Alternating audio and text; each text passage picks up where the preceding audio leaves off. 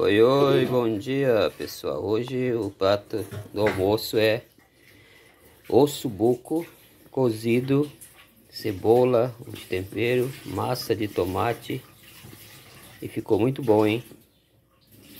Quem é que gosta aí, pessoal? Olha aí, pessoal, agora no prato, ó.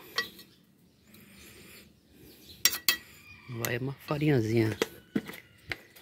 Não gosto de farinha, ó que o rondoniense gosta de farinha de mandioca.